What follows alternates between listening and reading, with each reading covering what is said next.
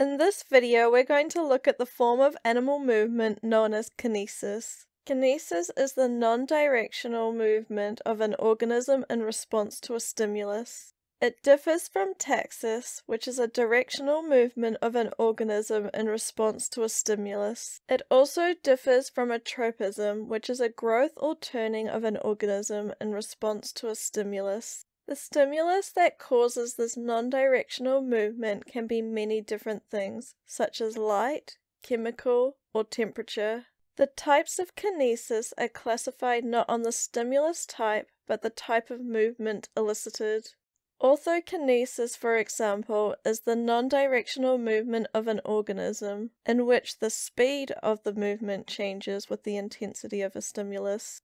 An example of orthokinesis is observed in woodlice in relation to the intensity of the stimulus, humidity. The higher the level of humidity, the less a woodlice will move.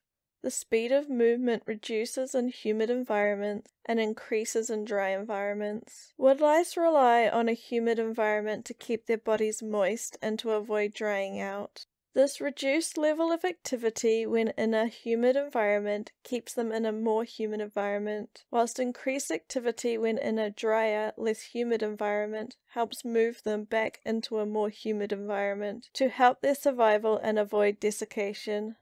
Clinokinesis is the other main form of kinesis. It is the non-directional movement of an organism in which the rate of turning movement changes with the intensity of a stimulus. An example of clinokinesis is observed in the flatworm Dendrocoelum lacteum in relation to the intensity of a light stimulus. The flatworm has an increased rate of turning with increased intensity of light. The reduced rate of turning in lower intensities helps keep it in the ideal lower light areas. Staying in the light can dry out a flatworm and potentially kill it.